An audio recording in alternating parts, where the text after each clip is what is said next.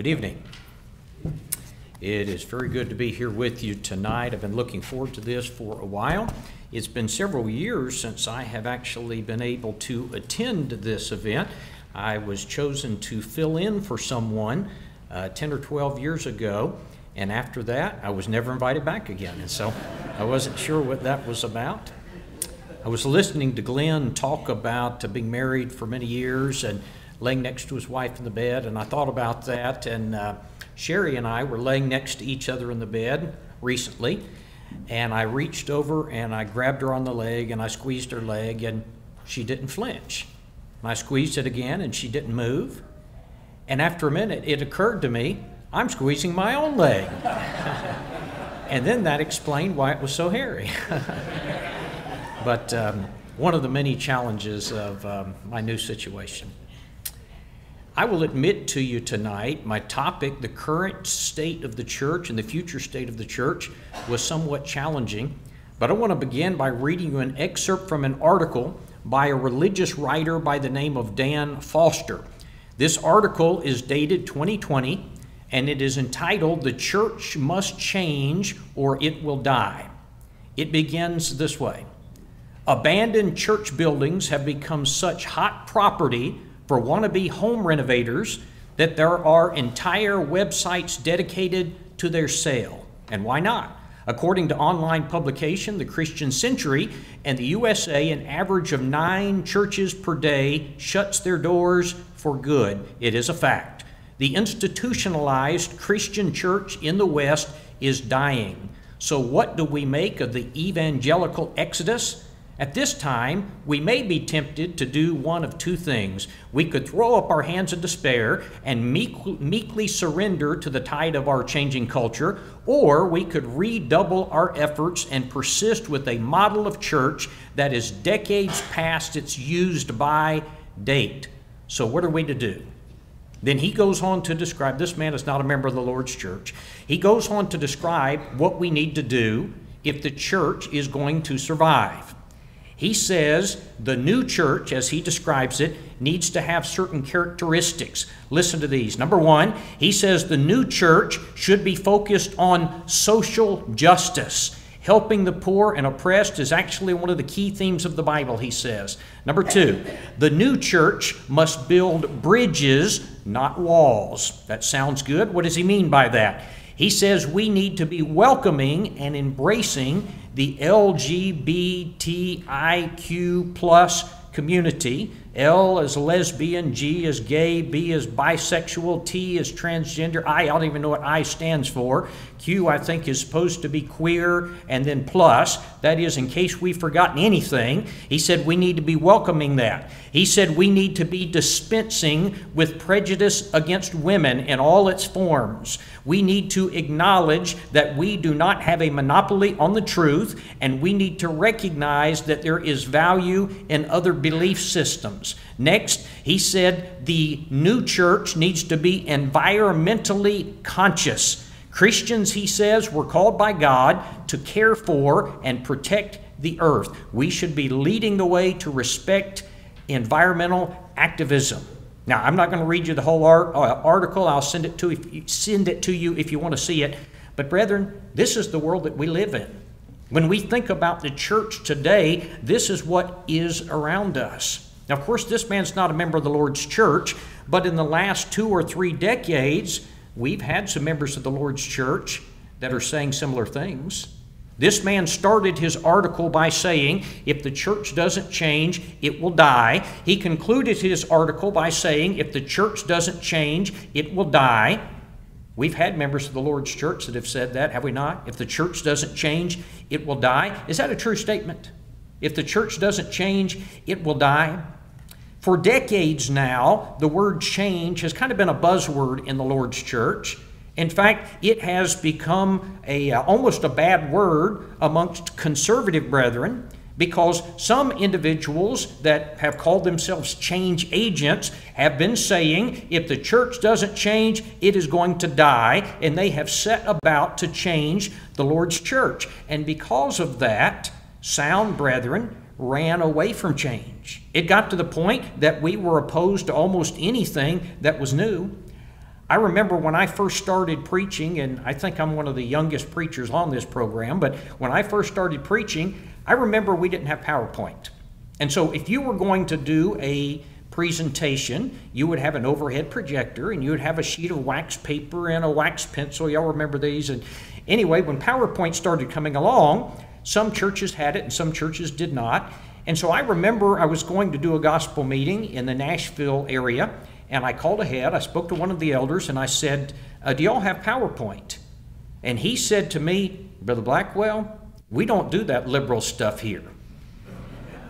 Well, there's nothing liberal about PowerPoint. It was just it was just new. It was just different. I remember the same thing being said when some congregations started using uh, overhead songs. In fact, where I was preaching at the time, we were going to get the paperless hymnal. I remember some of the brethren complaining.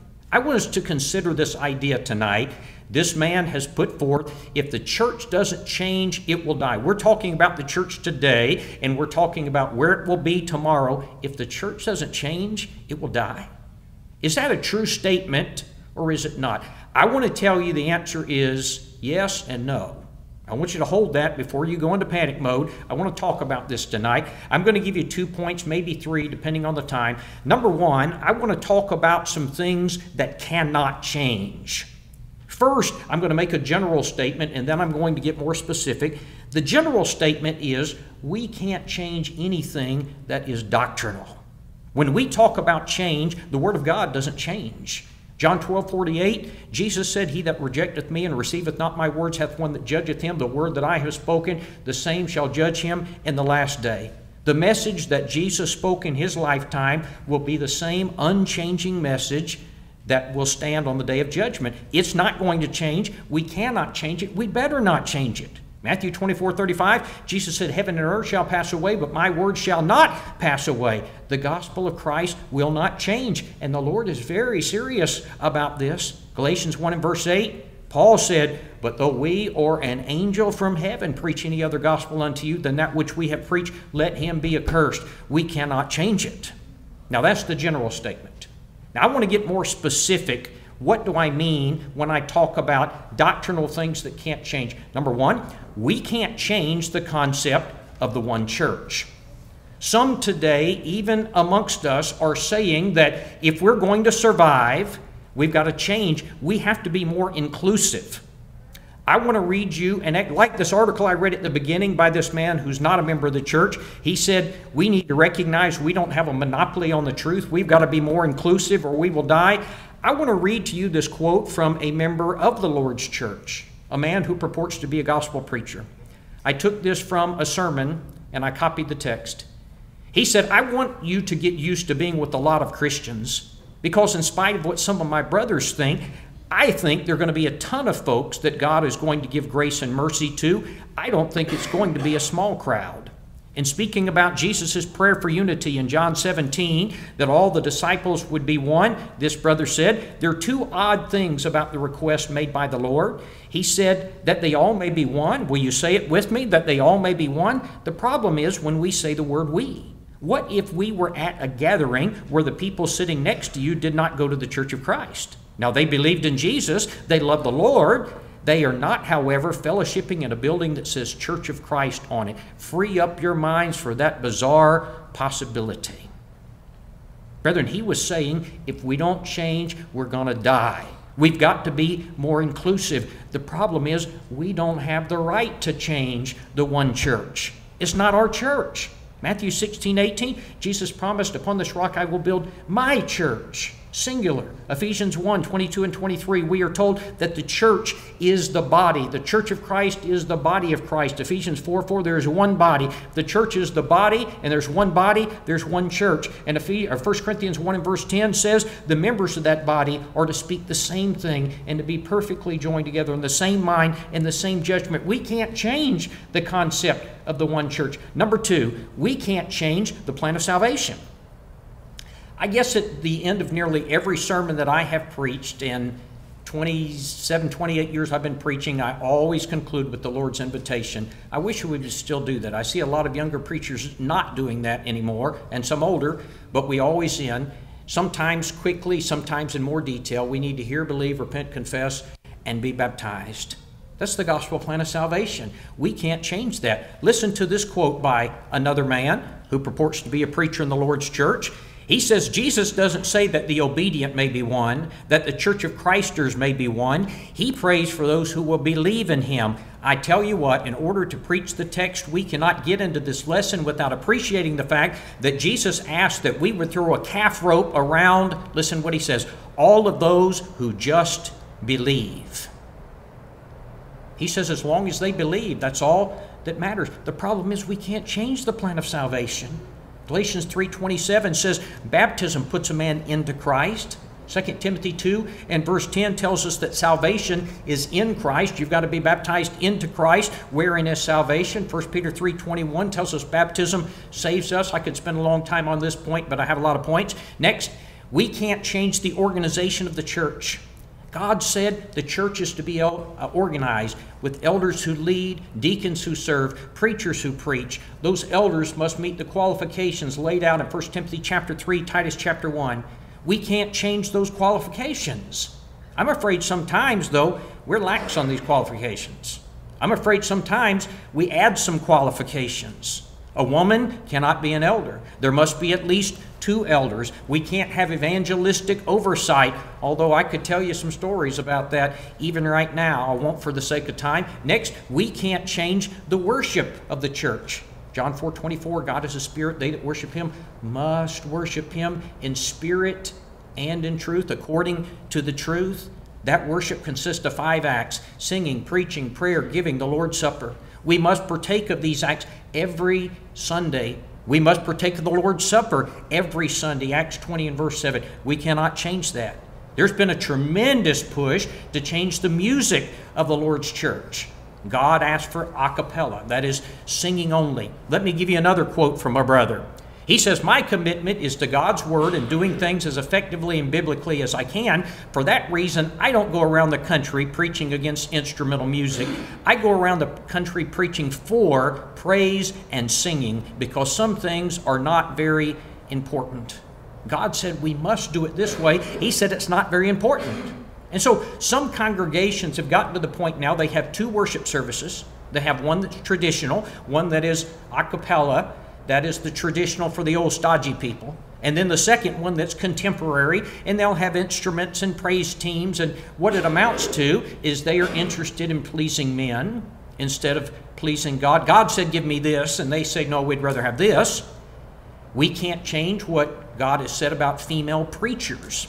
I got a message from a lady this week. She said they were traveling, they stopped at a Church of Christ, they went in, and a man and a woman got up to lead the prayer at the beginning of the service. And she was sending me a question about this. This is a growing trend. Of course, it's a violation of 1 Timothy 2.12. I want to read you this article this is from May the 9th, 2018. The man's name is Steve Gardner. The article is entitled Most Church of Christ Colleges No Longer Exclude Women from Leading in the Worship Services, a list of schools and their approach to chapel. I'm not going to read it all to you. I'll send it to you if you want it. It says seven of the 12 national and regional colleges affiliated with Churches of Christ no longer exclude women from actively serving in chapel worship services when men and women are both present. Four of them, Abilene Christian, Lipscomb University, Pepperdine, and Rochester College, do not exclude women from any role in the chapel worship services. Women preach, read scripture, lead prayer, and otherwise actively serve in chapel services that include men and women. Three other schools, Lubbock, Oklahoma University and York College no longer generally exclude women from actively serving in mixed chapels, but some exclusivity remains, at least in practice. Women serve as featured speakers and also actively serve in other roles. It goes on to say these seven colleges are joined by a growing number of Church of Christ congregations that have lifted all or most restriction on women serving in the worship service. This can be a whole sermon. We don't have the right to change what the Bible says about reverence in the worship service. We're being told today when we come together to worship the Lord, we should dress down. People like that better. People might like that better, but it's not about the people. It's about the fact that I'm presenting myself before God. I don't have the right to change what the Bible says about morality. I can't change what it says about modesty. Brethren, we've gone a long way down this road. Many congregations of the Lord's people don't preach on this. They don't preach, if they do preach, they preach apologetically, they preach so generically, people don't get it. We've so redefined modesty that you can't tell the difference in Christians and people of the world. 1 Timothy 2 9, Matthew 5 28 still read the same way. We're still going to be judged by them. With regard to morality, we can't change what the Bible says about drinking. You know, when I was growing up, I can't recall ever hearing members of the Lord's church defending drinking alcohol. I'm sure there were some out there, but I, I don't remember hearing it. It's extremely common now. It's coming out of Christian colleges. Ephesians 5:18 still says do not be drunk with wine, which literally is an inceptive verb marking the process. It means do not begin the process of getting drunk with wine. We can't change what the Bible says about homosexuality. Now Glenn talks some about this. You know, it's strange we have to talk about this so much. In 2015, when the Supreme Court made the decision that homosexual marriage was going to be the law of the land, my daughter Macy was a student at Freed-Hardeman College. And I called her and I talked to her about this, and she said, Dad, there's a lot of students on campus that support uh, this homosexual marriage. And I said, Macy, that's not right. I said, I don't believe that, not, not at Freed-Hardeman. And she said, Dad, I am here. I am telling you this is right. I later talked to Brother Dan Winkler and I said, Brother Dan, my daughter said so and so. And he said, Yeah. It, he said, That's right. And I got to thinking about this. What is the age of students at Freed-Hardeman? 18 to 22. What's been going on in our country for the last 25 or 30 years? If you're 22 years old, what have you had your entire life has been told to you? I pulled some stats, Pew Research polls.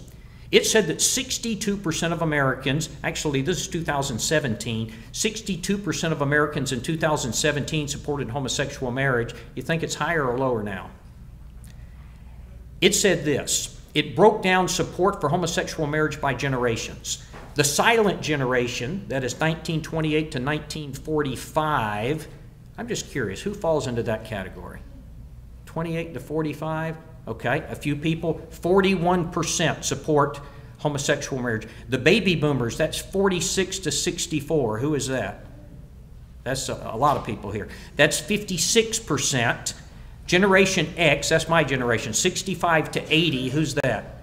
65, and then the millennials, I want to ask you, 1981 and later, 74%. Notice the trend 41%, 56%, 65%, 74%. Do you notice the trend of this? And what is really shocking, when you look at the baby boomers and Generation X, their support went up 10% just in one year from 16 to 17. Brethren, here's my question how long is this going to be before we're fighting this in the Lord's church?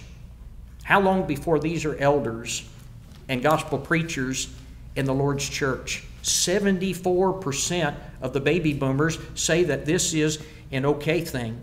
I was sitting in a Bible class in the Lord's church, and a sister raised her hand and she said, You know, we've always been told that homosexuality is wrong. And she said, We always cite Sodom and Gomorrah, but she said, the Bible doesn't say Sodom and Gomorrah was destroyed because of homosexuality. She said, this is what the Bible says. Ezekiel 16:49 says, "Look, this was the sin of Sodom. She and her daughter had pride and fullness of food and abundance of idleness, neither did she strengthen the hand of the poor and needy." She said, "We've been told one thing, this is what the Bible says." I was actually stunned at the moment. You know, the answer to almost every false doctrine is right in the context, almost always, if you look at it. If you keep reading, the next verse says this And, what does that mean? There's more to this story. And they were haughty, and they committed abomination. Therefore, I took them away as I saw good. When it says, and they committed abomination, do you know what that's talking about? Do you know what homosexuality is called multiple times in the Old Testament? It's an abomination. Do you know what this verse tells me? It teaches me there's a process to this. You don't have a nation or a city one day fears God and the next day embraces homosexuality. What he says is they were prideful. That is, they're full of themselves. Then they had fullness of food. They're rich and they're content and abundance of idleness. They've got time on their hands. They didn't strengthen the poor and they, they didn't care about anybody but themselves. Then they're haughty. Then abomination occurs. Then they're okay with it. Then they embrace it. There's a process. I would ask this where are we as a country? I don't mean the Lord's church. As a country, are we prideful? Do we have fullness of food? Do we have abundance of idleness? Have we gotten to the point that we don't care about, we're just concerned about ourselves and I couldn't be bothered to oppose evil because I'm comfortable? Have we embraced homosexuality?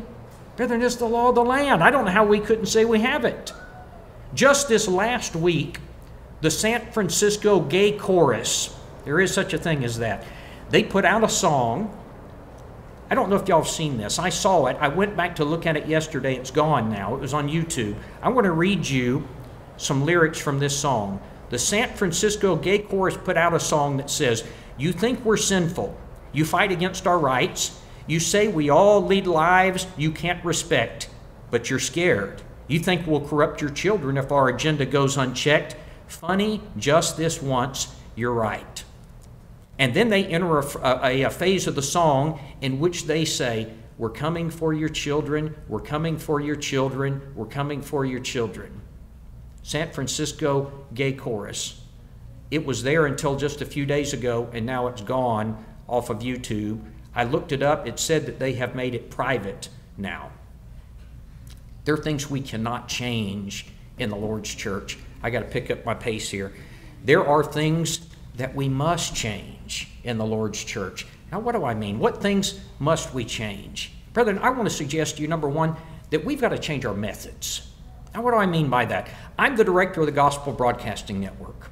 We are an organization that has as our entire goal to use every means of modern technology to reach people with the gospel. Now, what's my point? My point is technology is not bad. Change is not bad in this area. In fact, I think it's essential.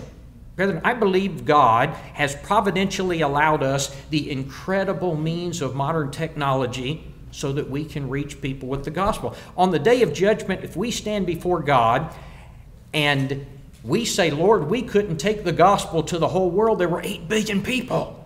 He might respond and say, Why didn't you use the technology that I gave you? Why didn't you use the internet? Why didn't you use cell phones and, and uh, uh, apps and, and all of these things? I don't believe that God has given us modern technology so that we can binge watch Netflix. I think He's given it so that we can providentially carry the gospel to the world. You know, I grew up in Charleston, South Carolina, and I moved back there in 2006 to be their preacher. And we were, I went into the library one day, we were cleaning some things out, and we had in our library some of the old Jule Miller film strips. You remember those? I don't mean the, the VHS, I mean the film strips, and we had the little projectors. And we were going to get rid of some of them. And I remember we had an older lady in the congregation, she was almost 90, and she said, We can't get rid of those, we might need those. I said, We're not going to need those. I don't think we're going to need. We had a map in our library that it was remember the old maps the big cloth ones and you would fold it over and it was the big map of moses's journey through the wilderness and it was an old one we had. I'm pretty sure it was the one that moses used when he was traveling. Um, i'm kidding but it was literally it was the one that we had there when i was a kid in the 70s i don't mean one like it it was the map. Brethren we need to avail ourselves of modern methods Churches today need to have a website. It's unlikely that we're going to be found in the yellow pages today. We need to have a Facebook page. We need to digitally record and store and distribute our material. We need to support works like GBN and Apologetics Press, and, and I could go on with the list, World Video Bible School. I'll get in trouble if I start that, but we need to have things such as Twitter, which incidentally, two weeks ago, Twitter shut down GBN's account. We don't know why. We think it's because we had posted something about homosexuality, then our account was locked. We need to have things such as Instagram. We're building a new app at GBN that we're going to release soon. We're going to call it the Salvation app. It's going to have several sections. The first one is going to be very simple. We're going to have videos that teach the gospel plan of salvation, about three of them, very simple. Secondly, we're going to have printed material where you can print off these Bible materials. We might be using the Back to the Bible material that Rob Whitaker uses. Thirdly, we're going to have a section that answers difficult questions, such as what about the thief on the cross and all the things people bring up. And then fourthly, we're going to have a section where you can get in touch with a real live person at GBN so that we can study with you. We're going to keep it simple. Why? Because that's how we're going to reach people. We've got to change with things like this. We've got to reevaluate our methods. It is unlikely the days of tent meetings and door knockings are going to work like they once did. You know, every time I say that, somebody says, Well, Don, we have door knocking and it works. Then you ought to do it. That's the point. We need to reevaluate and we need to see what's working. Next, we need to change our facilities. Now, what do I mean by that? I don't want to offend anybody when I'm saying this, but have you ever walked into a building and it smelled musty? And you walked over to the tract rack and recently and you pulled out a tract on the hippie movement in Woodstock and I say that to exaggerate but just a little bit because it hasn't been long ago that that happened to me is where I got that illustration. Now somebody says Don it's not about the building. People shouldn't be coming because of the building. And that's true, it's not about the building. But did you know an old musty building is going to deter people and our goal is to be effective. We have to keep in mind we are reaching out to a world that is worldly. And maybe the building shouldn't be the factor. We know better as Christians, but they're not Christians. We want to be good stewards. We want to do things that help us, not hurt us. We want to be attractive, not repulsive. Number three, we need to change our outreach. What do I mean? We need to change how we communicate. You know, one thing that I have learned, and I'm not trying to be offensive to anybody again, but I have learned in the Lord's church, old habits die hard. I have learned that in many places, you know why we do things a certain way? I don't even have to tell you. It's because we've always done it that way. We ought to always reevaluate our methods and say, is this still the best way to do it? Is it still best that we spend this much money mailing out the bulletin, or could we email it? We need to be asking ourselves, yeah, something we need to be thinking about today is giving. You know, paper money is rapidly becoming a thing of the past. Checks are rapidly becoming a thing of the past. My daughter and son in law told me, Dad, the only reason that we have checks is to give on the Lord's Day. Now, how are we going to deal with that? You know, at GBN, we've been trying to think of other methods so that people can give electronically because otherwise we're going to lose funds. Is the day going to come that we're going to ask everyone to get out their smartphone and make their contribution or pass a credit card swipe that we're going to swipe on the Lord's day? Would it be wrong? You know, I said that in one congregation, and the preacher came up to me afterwards and he said, You made me mad when you said that. And I said, Why, brother? And he said, Because I never heard that before. Well, that's the point. That I heard somebody tell me that when checks became a thing, there were some brethren that were opposed to checks because they said a check is more like an IOU. You've given it, but it doesn't actually come out till later. I never thought about that before, but it's interesting. Now, what's my point? We need to constantly reevaluate the things that we're doing.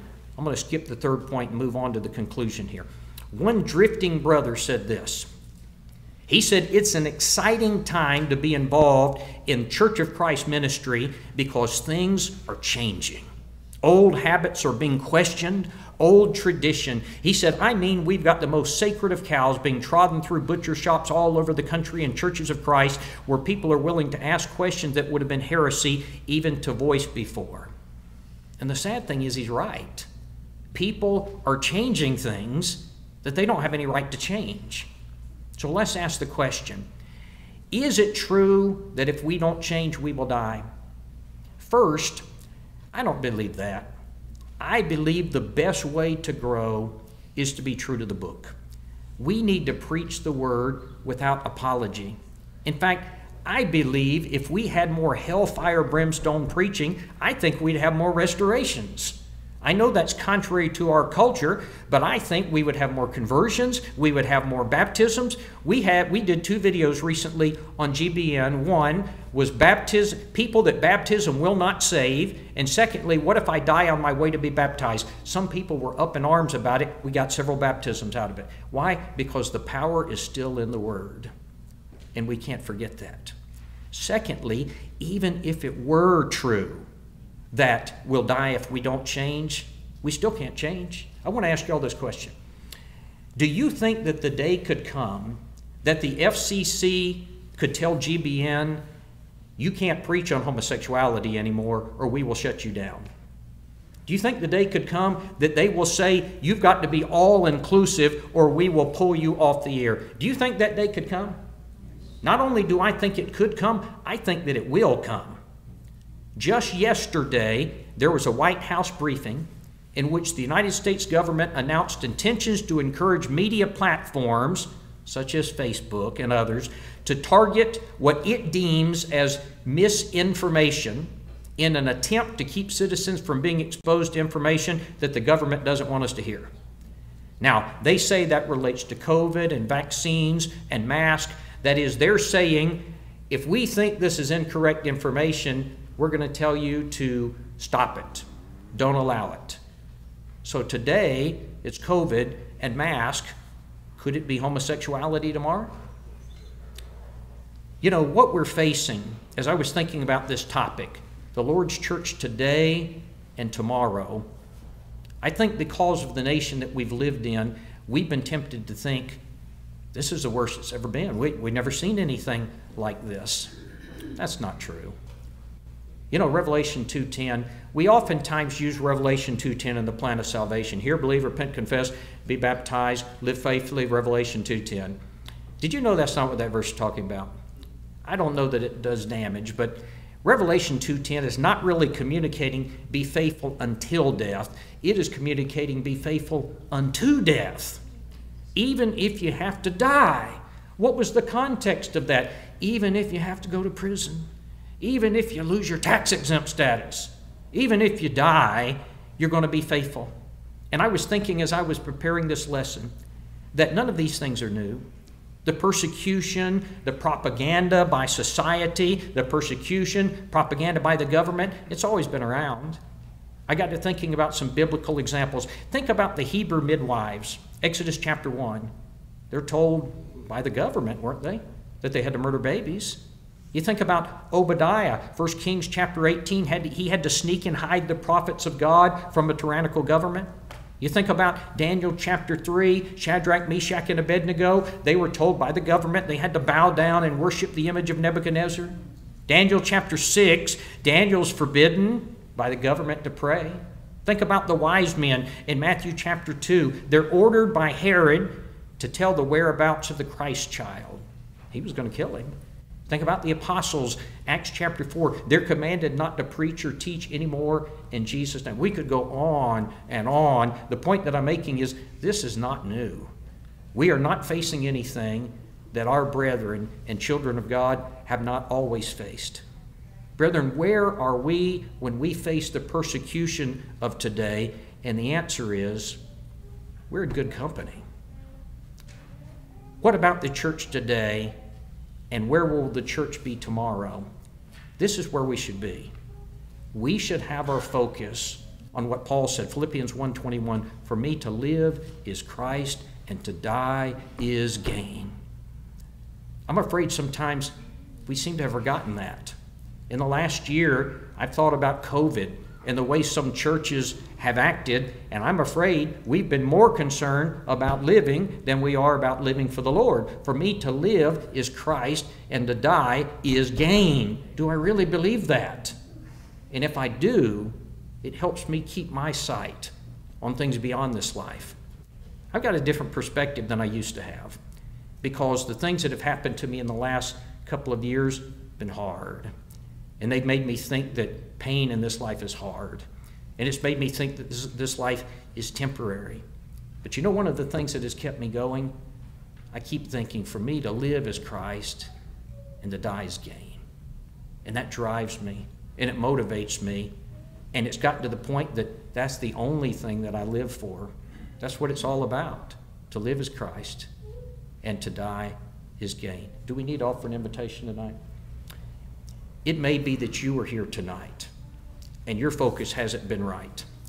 We want to give you an opportunity to make your life right with God. If you're here tonight and you're not a Christian, you need to know that the Bible teaches to become a child of God. You need to hear, believe, repent, confess, be baptized. If you've never heard that and you don't know what, you're ta- what we're talking about, let us know and we'll set up a study. Maybe you are here this evening and you're ready to do that. We're ready to assist you. Maybe this evening, as a child of God, you need to ask for prayers, confess sin in your life. We would count it a great honor if we could go to God and to pray on your behalf. Tonight, you have an opportunity. If you need to respond to the Lord's invitation, won't you come as together we stand and sing the invitation song?